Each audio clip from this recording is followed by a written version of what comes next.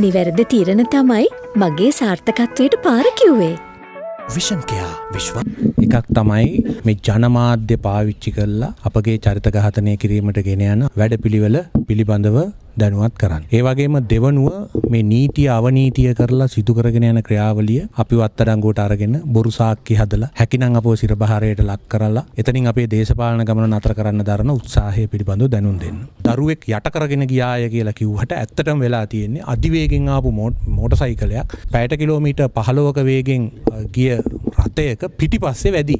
තොර කවුද අනතුර කළේ කියන එක පැහැදිලි. ඒ පිළිබඳව අධිකරණයට රස පරීක්ෂක වාර්තාවක් ලබා දුන්න. අධිකරණ කාරණය මේ නඩුවාර ගණනාවක් පැවැත් මේක විමර්ශනය කරලා තීන්දුවත් දීලා මාවයේ නඩුවෙන් ඉවත් කරලා ඒ අදාළ රියදුරු මහත්තයාට නොසැලකිල්ල මත දඩ පැනවල මේ නඩුව අවහර කලා තොට මේ නඩුව දැන් නැවත පටන් අරන්තියන කොහොමද මේ නඩුව නැවත පටන් අරන්තියන්න නම් පටන් ගන්න ඕන ඇත්තටම මෙවැනි අධිවේගේ මෝට සයිකල් රේස එකක් මෙතන ගියායට විරුද්ධෝ තමයි මේ නඩුව පටන් ගන්න ඕනේ පාර පැදයන්න බැරි මෝට සයිකලයක් පැදගෙන ගිහිල්ලා රාජ්‍ය දේපලකට හානි කලාට කෙනෙක තමයි තියෙනවා නමුත් මේක අරමුණ මොකද්ද? මේකේ අරමුණ තමයි මේ අපේ ඒ රියදුරු මහත්තුරු ඇතුළු පිරිස් බයවද්දලා සාක්කි වෙනස් කල්ලා පුළුවන්ද කියලා බලන්න අපිව අත්තඩංගුට අර්ගෙන කටයුතු කරන්න. විශේෂම අපි අපිට ප්‍රශ්නයක් නෑ ඕන පරීක්ෂණයක් කරන්න. නීත්‍යයනු breaking.lk